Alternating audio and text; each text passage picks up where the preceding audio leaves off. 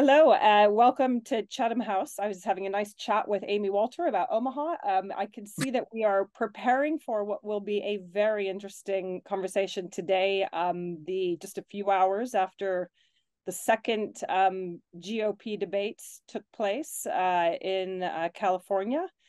Um, I'm Leslie Vinjamuri. I direct the US and Americas program here at Chatham House. Um, we are preparing for what we know will be quite an interesting year and a bit, um, looking always at the United States from a perspective that's uh, intentionally considering uh, the implications for the rest of the world. But today we have some tremendous um, thinkers, scholars, analysts to help us understand the state of US politics and especially the Republican Party uh, and the direction of travel.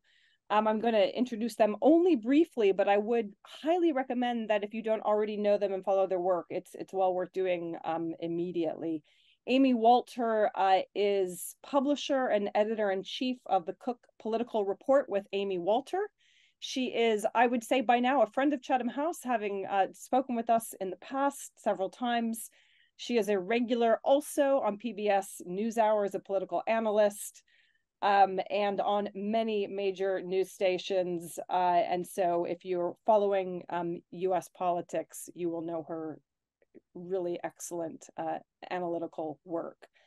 Um, Professor Larry Sabato is at the University of Virginia. He is founder and director of the Center for Politics, very well known for his writings, for his many books, most recently, A Return to Normalcy, the 2020 election that brackets almost broke America. It did not. Um, and and also for uh, Crystal Ball, which again I would direct your attention to, which is provides really great uh, commentary and analysis on U.S. politics. He's been at this for a very long time and has tremendous historical as well as contemporary knowledge. And Gideon Rachman, well known to all of us, chief foreign affairs commentator at the Financial Times, definitely a friend of Chatham House and Gideon, your most recent book, Age of the Strong Men, how uh, how how the cult of leadership has threatened democracy. And I know that you took a very close look at Donald Trump uh, in that book. So, Amy, let me turn to you. Last night's debates gave us a lens into um, what we know to be um, a Republican Party that looks very different than it looked um, when you and I were growing up in the United States. Uh, it looks very different than it looked 10 years ago. Um, Donald Trump wasn't on the stage.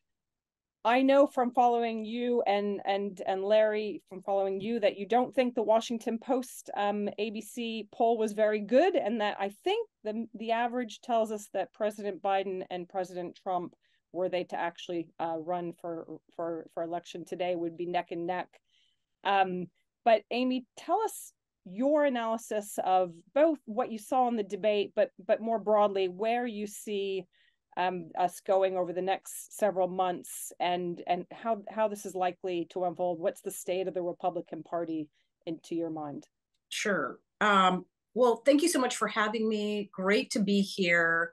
Uh, always enjoy these conversations. Uh, if anybody took the time to watch the debate. I don't think you came out of it feeling very satisfied. It felt a little bit like uh, going to a buffet and filling up on, I don't know what, just carbs. And about five minutes later, you feel like you just got a lot of empty calories. Uh, the reality is that uh, Donald Trump is the center of the, not just the political universe, but certainly is the Republican Party right now. Um, he is the sun, and everything else revolves around him. And so, you know, theoretically, conversations about policy, um, differences between the candidates on really big issues, certainly Ukraine being the top sort of uh, uh, rift between the party right now, uh, between members of that party right now, what to do uh, there and the continued U.S. aid to Ukraine. But we don't get into that because the conversation really is do you stand with Donald Trump or do you not stand with Donald Trump? And if that is the measurement then for how to win a primary, uh, candidates are going to just go to where it's safe. And so, uh, what we saw last night were a bunch of candidates who were basically desperate to cling on to whatever piece of the pie that they have. Donald Trump being ahead anywhere 40, 50 points. They maybe have a five point or six point seven points in the polls, trying to be that second place candidate. And if Donald Trump falters, or if things get close, they can be the last one standing. And well, very hard for me to see that Donald Trump loses to one of them at this point. But should that happen, they want to be the next, you know, they, they are in that second place slot. Um, I don't know that anyone did themselves a whole lot of help. Uh, I think we'll see if anybody actually watched that debate. I mean, to me, that's the bigger question: is are Republican voters even tuning in?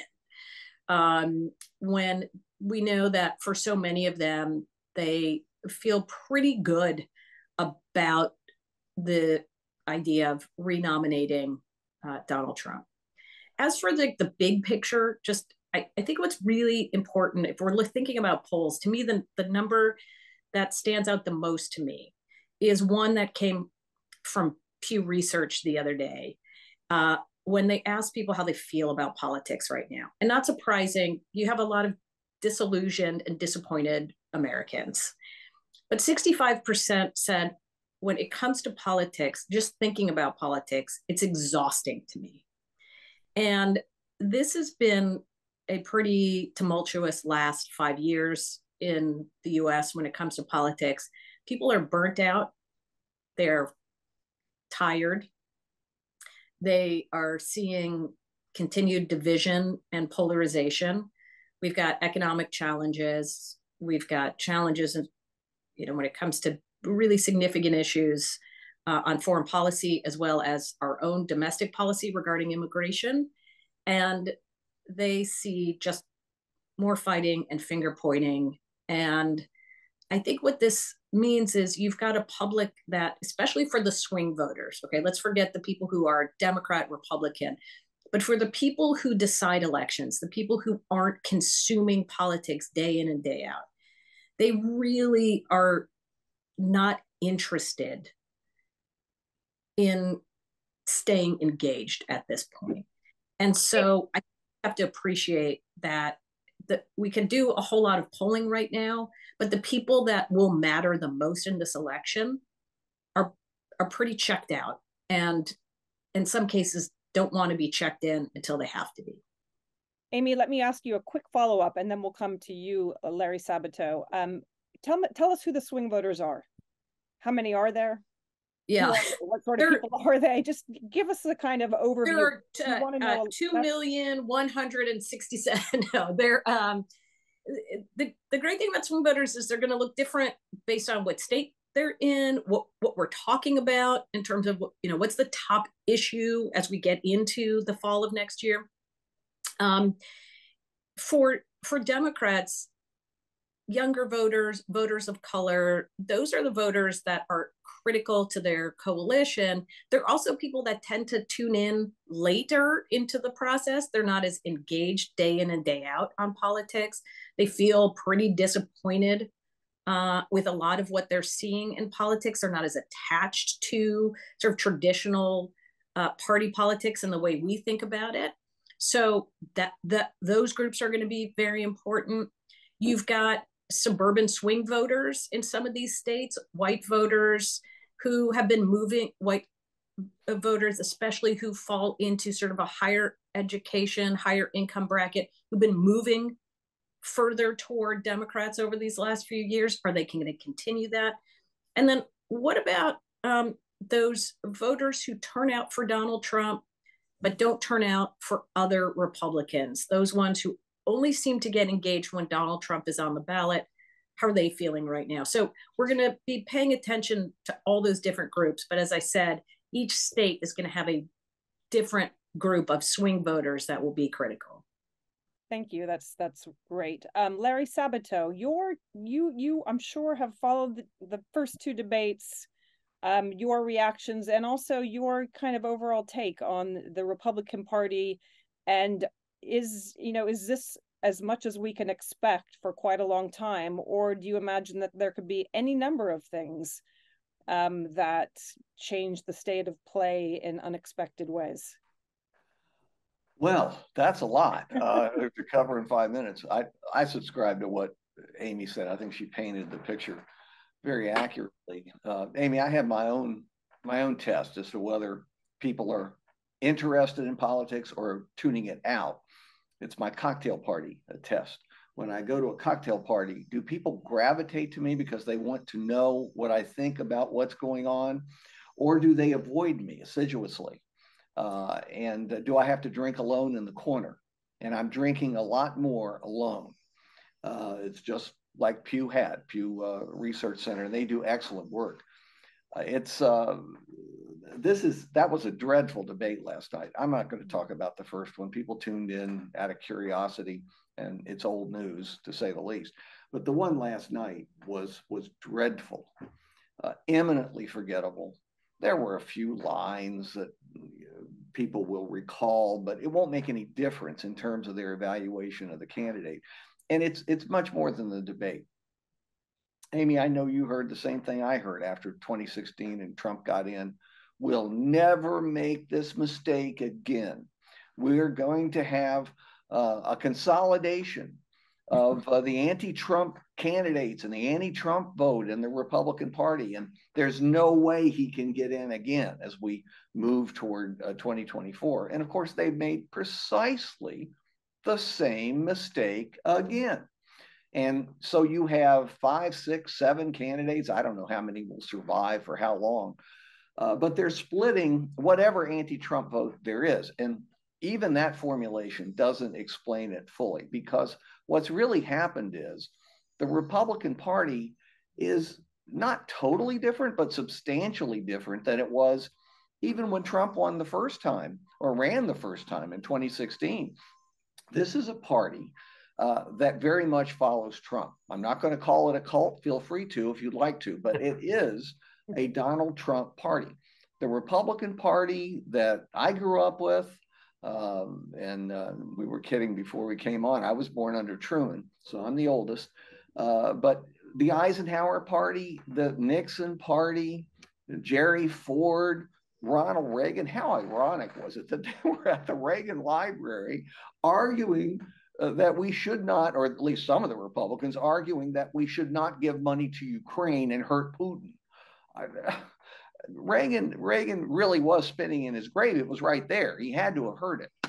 Uh, just so strange how the Republican Party has changed, and it's it's reasonable to ask this question: Can they govern?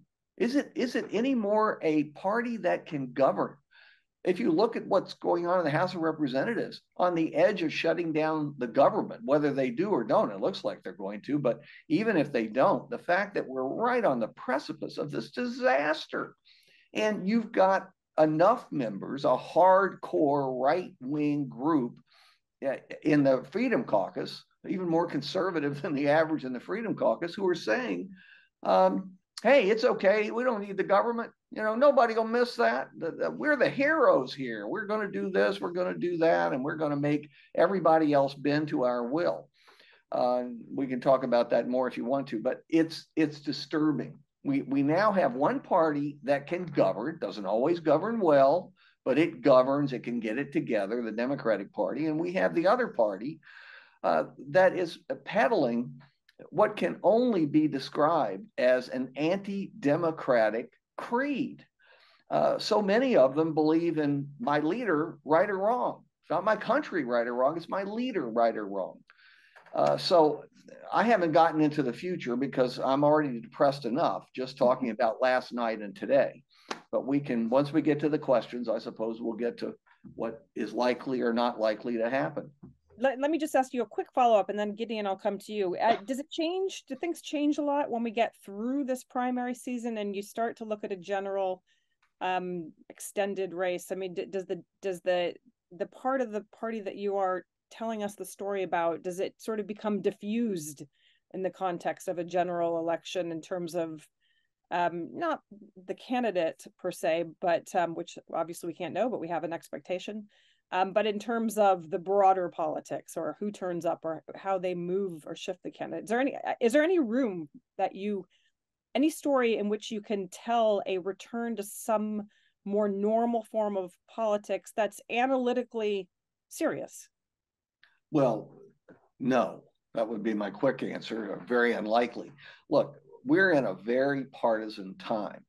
And the partisanship is significant because Donald Trump could not possibly have won in 2016 had the Republicans who were offended by him and didn't like him and thought he would make a bad president, had they not returned and voted for him. They did it because he had an R next to his name. That's all you need. You need the letter R or the letter D. And you've defined 90 to 95% of the electorate, no matter what they say now, no matter what they say a month before the election, no matter what scandals are released, uh, no matter how many convictions we find Donald Trump uh, is going to suffer. Uh, it's not going to make much difference because of the party labels and the partisanship, the extreme partisanship that we see. Now, are any people persuadable? Yes, of course. The true independents are not the group that you see the real number of independents or the real proportion of independents is really depending on how you define it between 5 and 10% of the vote. But of course elections are decided by a couple of percent in most cases and this ought to be reasonably close or that's what we think we see 13 plus months before the election.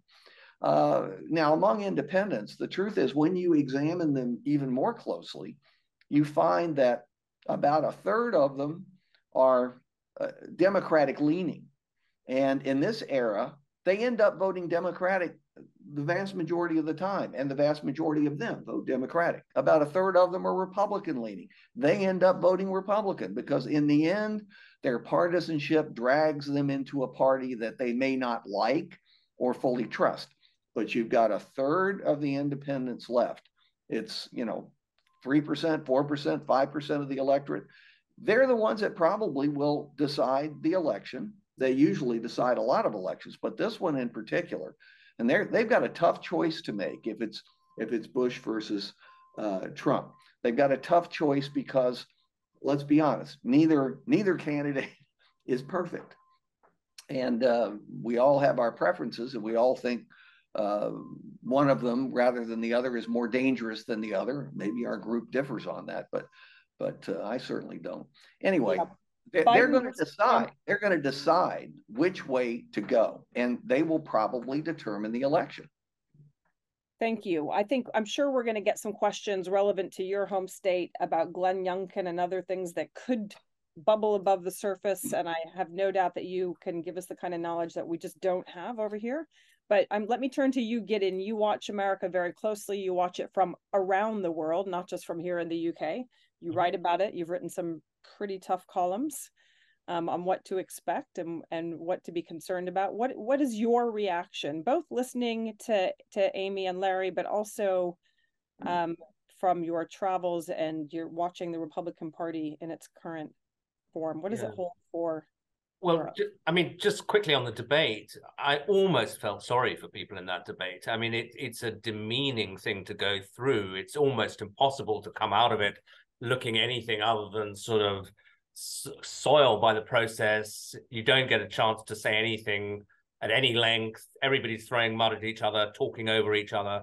And as well as being demeaning, it's also futile because, as we know, Trump is 50, you know, hugely ahead. So the they're not even going to get gain anything for the process they went through. And uh, you know, I think the only people who might have uh, benefited a little bit would be the Democrats because they provided some lines. So it's possibly useful that DeSantis said, well, actually, inflation is, you know, partly Trump's fault. You know, somebody was noting that down for the general election. But yeah, I mean, I, I, but uh, obviously the big picture is that Trump has this huge lead. And so we assume that he will get the nomination. I mean, I had a scintilla of doubt planted in my mind when I, you know, read the latest court case and him losing control of his businesses in New York. You have to wonder whether one of these legal cases will in some way or another bring him down. It's such a bizarre situation that he faces 91 criminal indictments as well as this other civil case that's just come through. Uh, so that has to be a question mark of some sort. But I think the central assumption is still Trump gets the nomination. And now we're into a general election where, as you say, it's neck and neck. And then there's the the ABC or the Washington Post poll, which said it's it's a Trump landslide, and everybody's saying that can't be right, including the Washington Post. But um, but it's very all elections now are super close. And as I mean, I was very interested to hear Larry saying even the independents aren't that independent. So it comes down to a very small group of people. But I think the big question, certainly for foreigners and people sitting outside, is you know Larry said he wouldn't quite call this a, a cult party, but invited us to. So, okay, I'll call the Republican Party a cult. I mean, but how come that 50% of the American people are going to vote, or around 50%, uh, uh, look like they're going to vote for Donald Trump, despite the fact that he, as far as I can see, attempted a coup d'etat, uh, you know, three or four years ago, and has all these other things against him that is the the fascinating and unsettling question about the United States. What is what inspires this loyalty? What do these people want? And then you say for the outside world, you know, what does that mean? Let's say Trump comes back in. You know, you could come up with a comforting story and say, well, the world just about survived four years of Trump before, so you know, fine, uh, we'll just kind of get through it or you have the you know no trump will be much more radical next time around he might pull america out of nato in foreign you know he might he might cut the ukrainians off on day one uh, and what if america plunges into a kind of not actually a civil war but but such a state of dysfunction that its whole alliance system and all the people who look to the united states around the world to help them in an increasingly dangerous world with russia on the march china threatening to invade taiwan uh, say, well, you know, uh, America's not there for us anymore. At that point, I think the whole world is in danger. Okay, that was really grim. Um, I, I, w- I will say, you know, America's a complex place with multiple actors, many states, a lot of institutions. If one person can take it down, that will be a, certainly a heroic figure, not in a good way. But I want to ask a quick question before we come to a few of the uh, questions from the audience, and it's about polarization um, because really you know if we are as polarized uh, as we're led to believe then it is true that you know you can't really talk about issues because nobody's movable right? People are kind of locked into their positions. And as larry said it's you know are you an r or a d? Um, amy do you know how much we saw those you know we've seen kind of the data as they've changed according to pew um, during the trump years where by different measures polarization became much worse I don't know if any of the panelists, if you or, or Larry or Gideon know, has that changed? Has it gotten, you know, has there been any sign that polarization is moderated? Is there anything that influences polarization or is, has it gotten worse? Has it just stuck? Gotten Not worse. worse. Go yeah. ahead, Amy. No, I mean, Larry and I will both point, I'm sure, to the same Pew study uh, where they look, uh, going back to 1994, the percentage of people who say they're Democrats uh, let me say it this way people who identify as Democrats, how do you feel about Republicans? Republicans, how do you feel about Democrats? And in the 90s, you know, a small percent said, I feel very unfavorably, maybe 15, 20% about the other side. Now it's up to 60 plus percent, very unfavorably. And you say, well, what changed between 1994 and and now? And let's be clear, this didn't just start, it wasn't like 1994 and then all of a sudden 2016 comes and it goes straight up. It had been gradually going in this direction already. Uh, so uh, Trump was not the catalyst, but he certainly put a lot of fuel on a fire that was already burning. I mean, you you can't help but say it's this, right? I mean, the rise of after the 90s, you know, you do see a pretty big spike starting around 2000 with the real engagement of the internet and cable news sort of feeding uh, into that human instincts of being you know you're on my team or you're you're my friend or you're my enemy. And both of these uh, things are are designed uh, to help polarize and engage and enrage. And so we don't disagree more on issues than we have. We just don't like each other. Well, We're not think, the only country in the maybe, world that has social media. Um, so right. yes, a big part of the problem. But Larry, do you what your take on? Oh, that's exactly what I was just going to say. I agree with what Amy is suggesting here, but you have to add in social media. It has made everything so much worse. And don't tell me about all the good things it does. I know about the good things it does, but it has really heightened the disagreements and the viciousness of politics, the immediacy of the viciousness, so that uh, whatever people felt before, they now feel it much more strongly because they are fighting the other, the other. I grew up at a time when there was partisanship, certainly. There was a lot of partisanship in 1960 between Kennedy and Nixon, but in the end, both sides got together and even after Kennedy's failed Bay of Pigs, which was originated by Eisenhower, so that's why it was bipartisan. But even after that, he soared to 80%. The vast majority of the Republicans backed him. Part of it's the Cold War, uh, but part of it was that Americans had a framework for semi unity. You're never going to have a diverse country being truly unified. Maybe 9 11 is an exception. But you will at least have a framework for coming together uh, in crisis or sometimes for great goals that the society is trying to achieve, like, say, going to the moon. Um, and we, we're just not there anymore. There's such intense hatred uh, on social media, but also off social media. Everywhere you go, you experience it the the nastiness comes through in lots of ways including email and and phone calls and all the rest of it. And and when you go and do public forums people will stand up and start screaming. This to me this is new and i've been doing this since the 60s this this is new and it's much worse.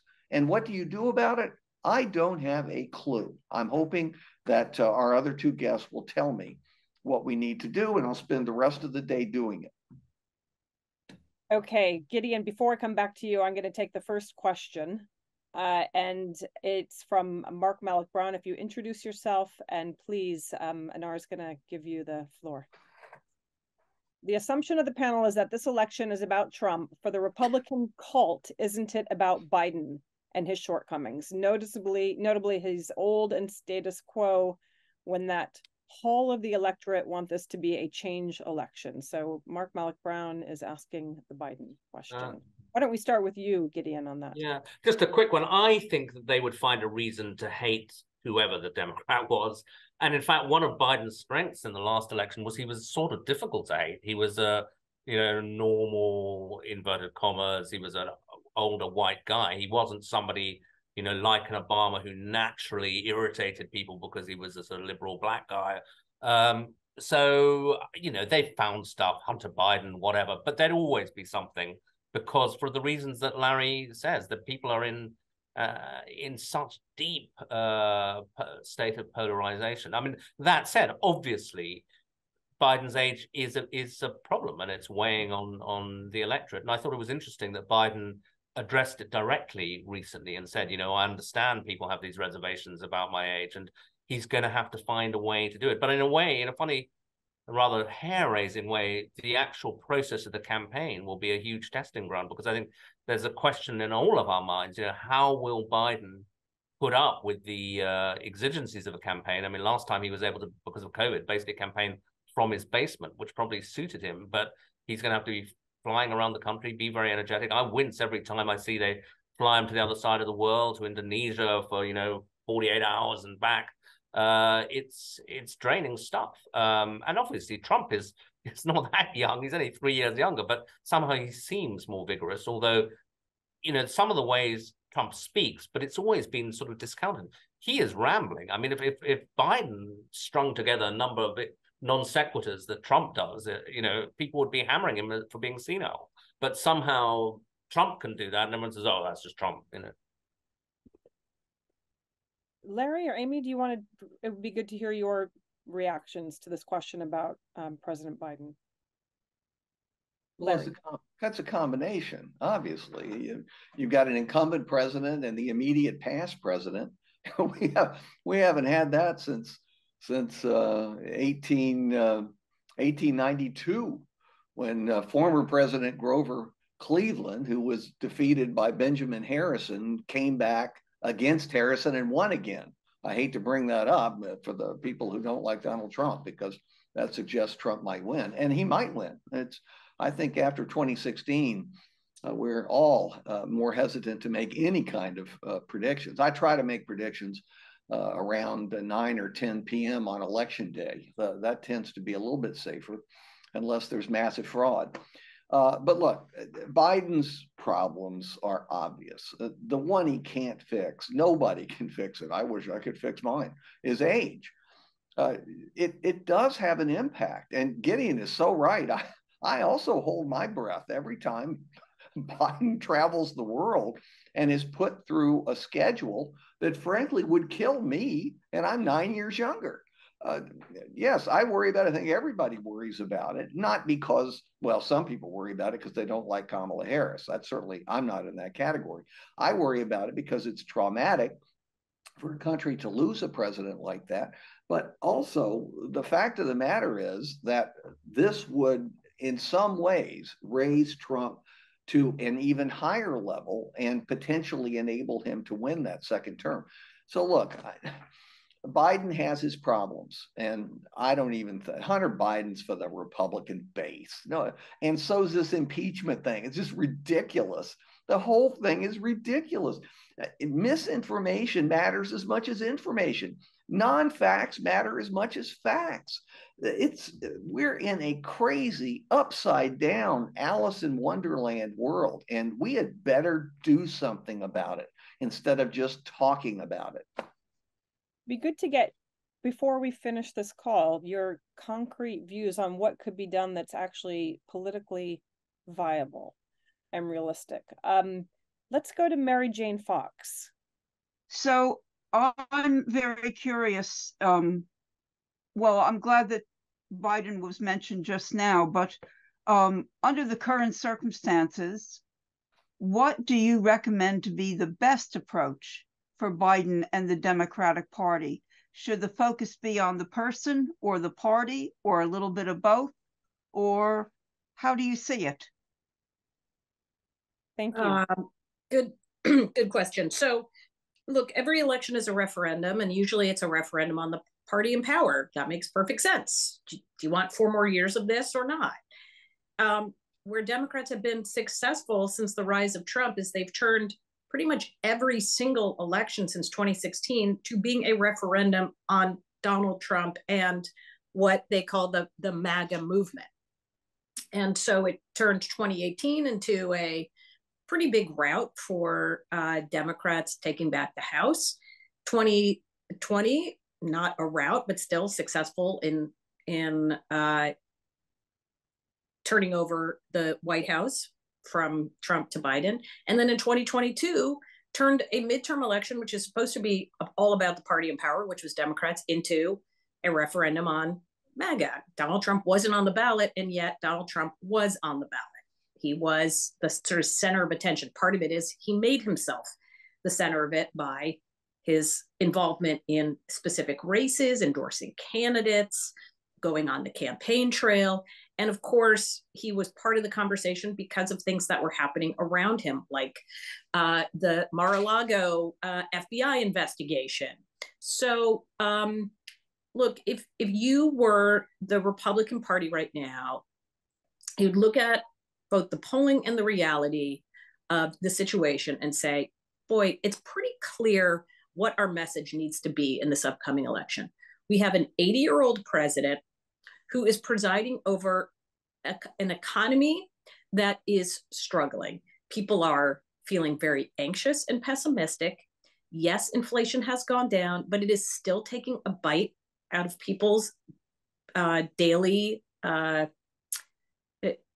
you know, their their day to day lives are impacted by rising costs or costs that are not coming down on the things they need to uh, live their lives.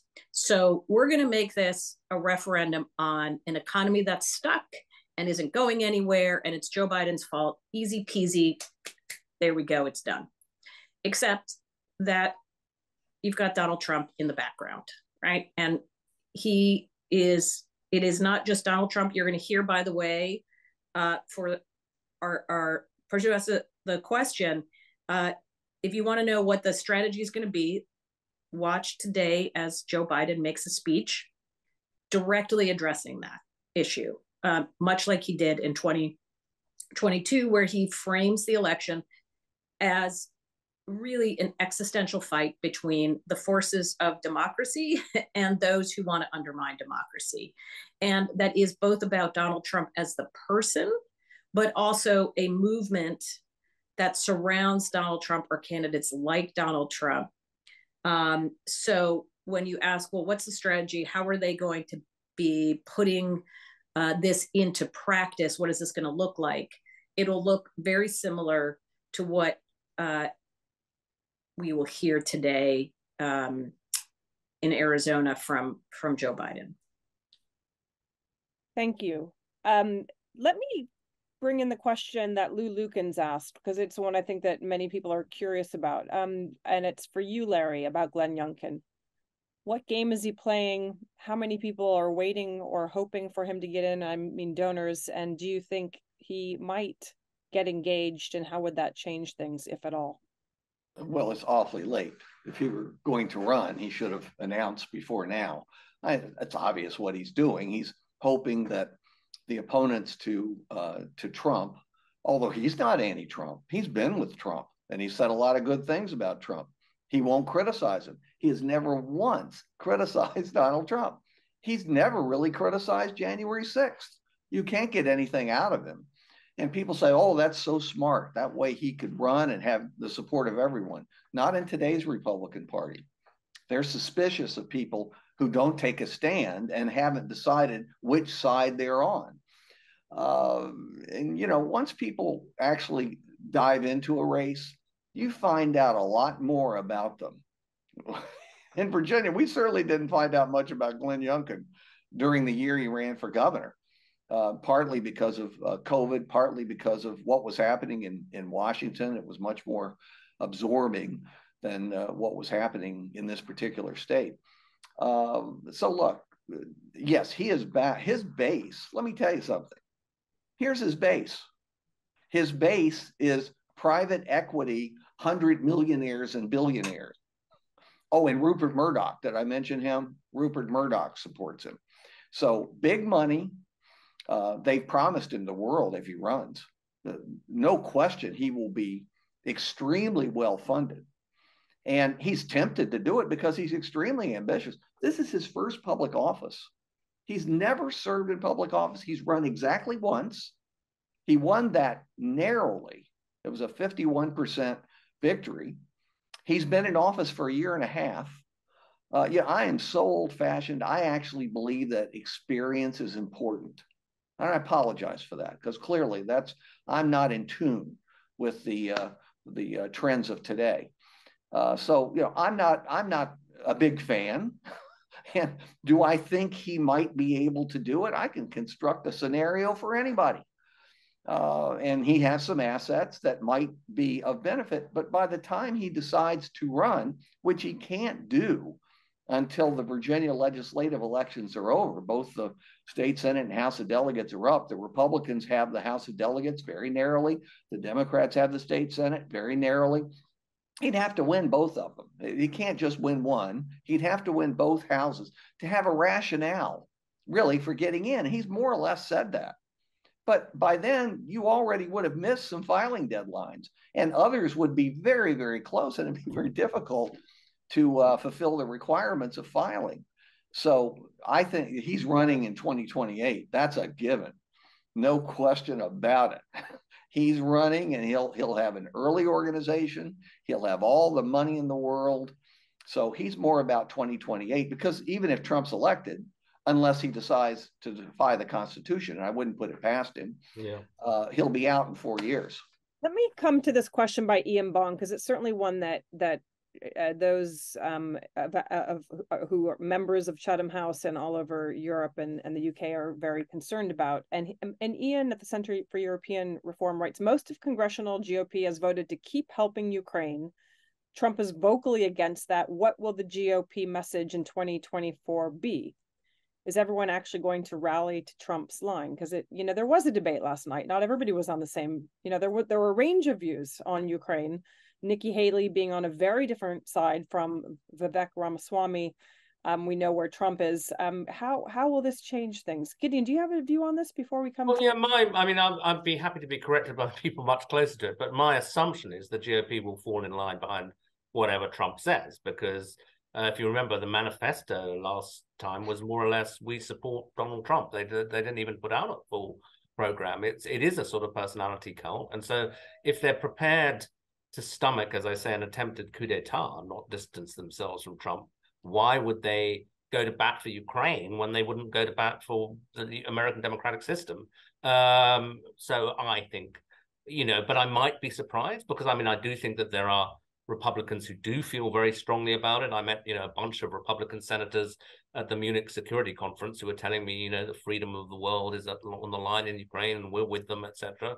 So maybe, oddly enough, some of them would say this is the issue on which I break with Trump, but on past records, I don't believe it. So I think uh, the only thing that might switch it is if at some point somebody gets to Trump, somebody he trusts, and persuades him it's you know it's a good idea to keep supporting Ukraine for a while. That's I suppose conceivable, but my guess is that he would wind down support for Ukraine pretty quickly. Disagreements with that, Larry, Amy? Well, it's not going to be the focus of an election. We only decide elections on foreign policy issues when we have American troops at stake, when we have lives at stake. So I don't think there'll be there'll there'll be lots of editorials about Ukraine, and I'm not saying it's not important. It's a very important issue, but that is not how Americans vote, and they're not going to vote on that this time either. It's going. This one will be personality driven, and I hope democracy driven uh, rather than focusing on anything beyond the economy, maybe, and a couple other things. But it's not going to be Ukraine. Amy, I do think there is a there there still is a significant percent of the elected officials, especially those in the Senate, who not only come from the um, I, I, guess Reagan-esque uh, wing of of the party, but at least at their core, while they may have support for, well, they may support Donald Trump, they do sort of see themselves as more hawkish.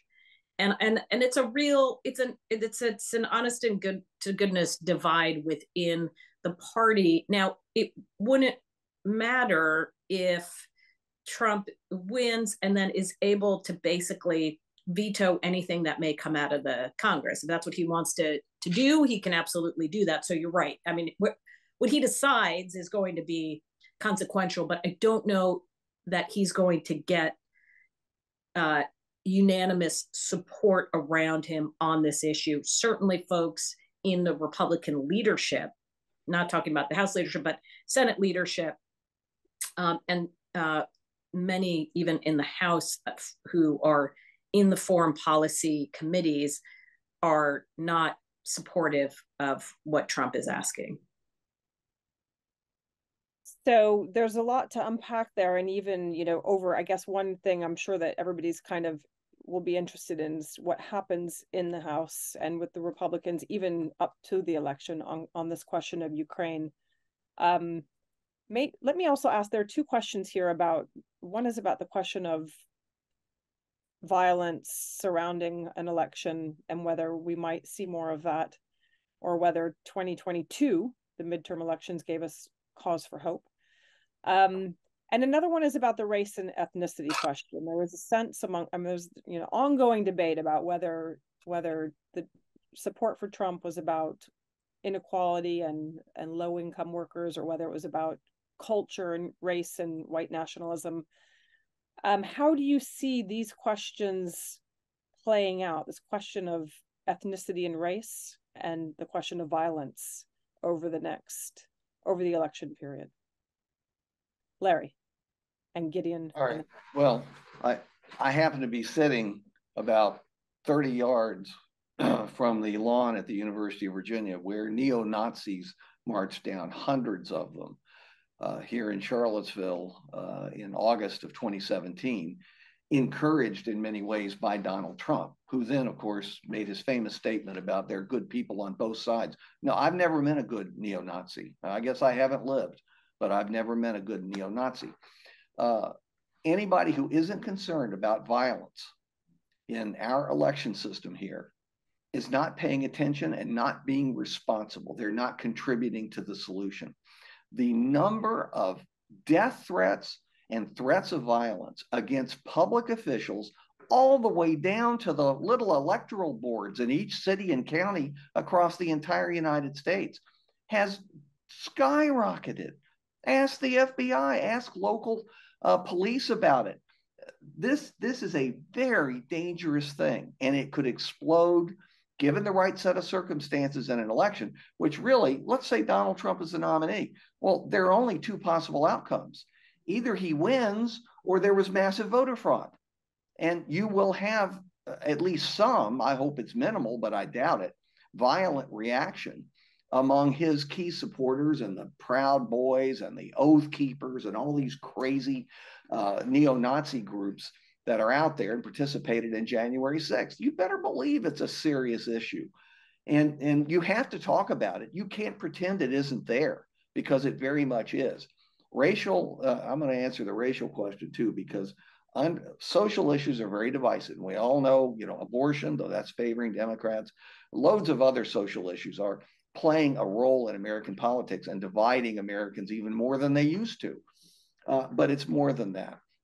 One reason why Trump gets so much support from particularly white male non-college voters and that include and women also are included he carries women white women non-college but he really has an enormous majority among male non-college uh, voters the reason is because they sense that their group is losing power.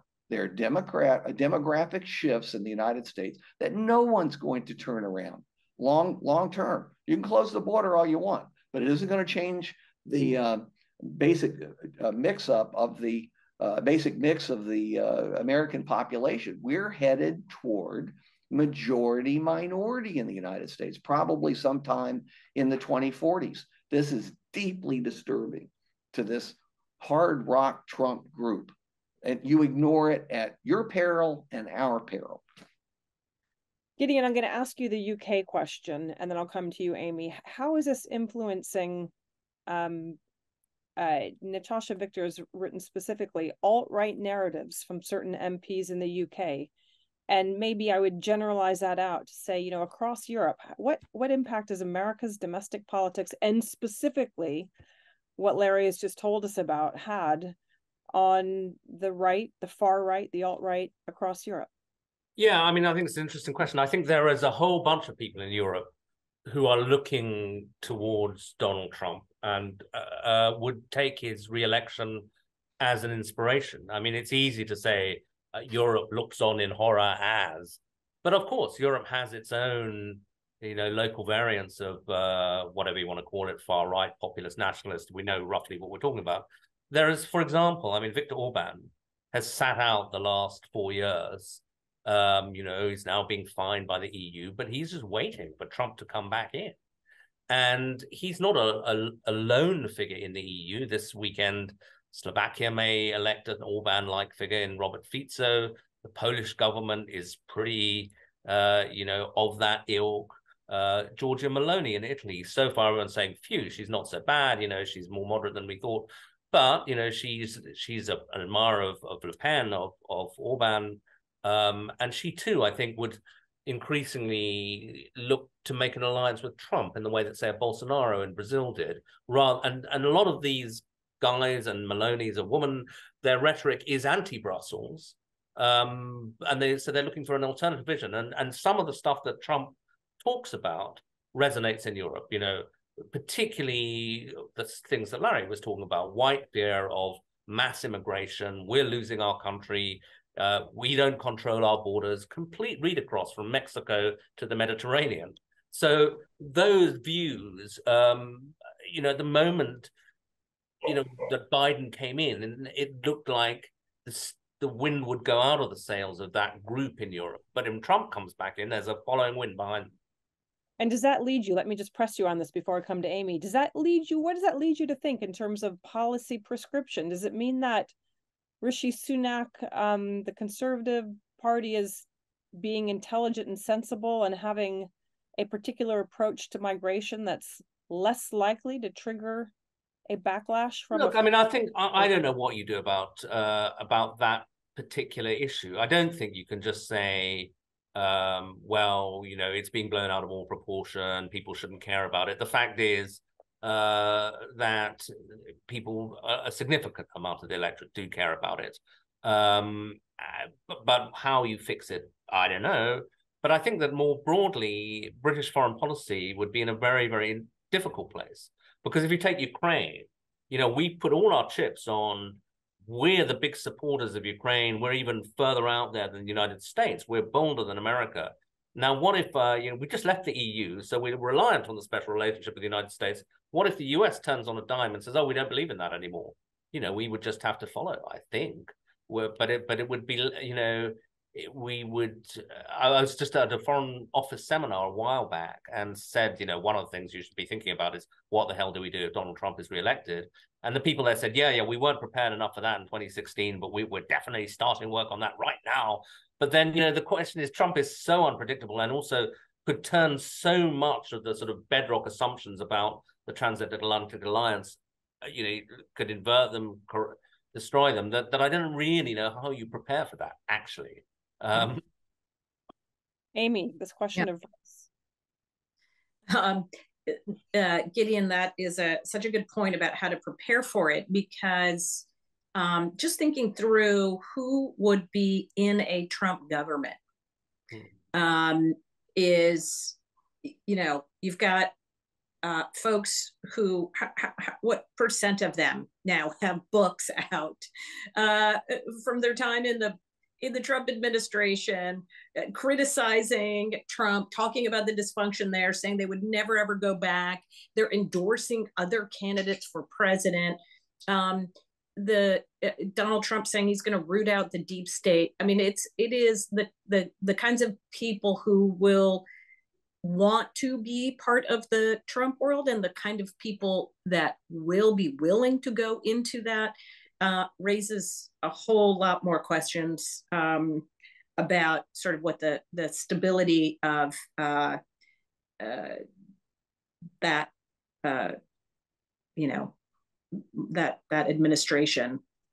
Um, so that's a whole other. Uh, I mean, Gideon's right. Sort of like I don't know if we can really think through that now. We just kind of have to get through where we are uh, at this moment in in time.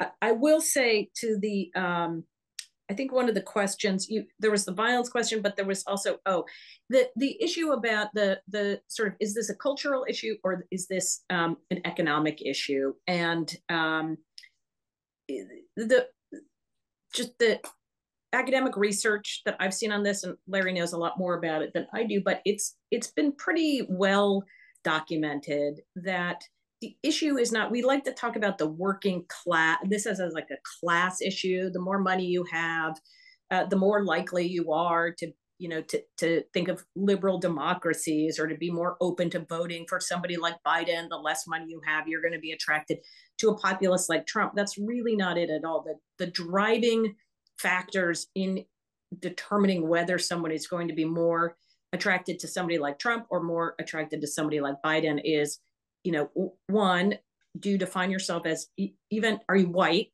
Do you find yourself as evangelical? Um, uh, so evangelical white voters, whether they have a college degree, whether they have lots of money, whether they have no money, wherever they are, they are voting overwhelmingly for Trump. And uh, the other uh, the other piece is really it's an we talk about it as it's not about money it's about how you define yourself in relation to as larry pointed out other uh, the, the the sort of um, uh, diversification of the country whether that's a good thing or a bad thing. Um, and you're whether you have a college degree, it's not necessarily whether you're making more money or not. There are a lot of people without a four year college degree who are doing very, very well. So this is not so much about whether the economy is doing well or not doing well, or people who are suffering economically, or the people who don't have the level of education. No, this is a, a cultural fight more than it is an economic fight. Um, when we talk about who's you know who's doing well and, and who's doing and who's not. Donald Trump went to Detroit ostensibly to link arms with the striking workers uh, from UAW, but that's not who he was speaking with in Detroit. He went to a, a, a shop that that provides um, parts for the car companies. It's a non-union shop, and who he was speaking to are folks, not necessarily those who are part of trade unions. What he's saying is, you should come to me because I'm the only one that's going to protect you from the real threat. The real threat is China. The real threat are the outsiders. The real threat are from people who want to change this country, right? It's it's not. Let's not get into a debate about how much money you're making an hour, how many hours you're going to have to work in a week. It's the fact that these people come in here and they tell you we need to have electric vehicles, and then China's going to eat our lunch while we try to make these stupid cars that, you know, that can't drive anywhere because they run out of battery. It's that's what we need to fight against much more so than a than a sort of traditional fight over who's getting the fruits of the labor. Amy, that was uh, tremendous for us and our audience because we spend a lot of time thinking about the United States, Europe, and China. And there were a couple of questions about China, and you've tied it in uh, very eloquently in a in a um, unsettling but but powerful way. Um, we are at four o'clock. I know everybody has somewhere to go. Larry, I know you've got a deadline. Thank you so much, Amy, Larry, and Gideon. Um, please follow their work, Cook Political Report, um, the Crystal Ball, and the Financial Times. um, and um, this will be recorded and you can look back, but we will carry on many of the elements from this conversation and the questions that we didn't get to, we'll be sure to address on our next session. Thanks so much. Thanks, everybody. Thank you, everyone.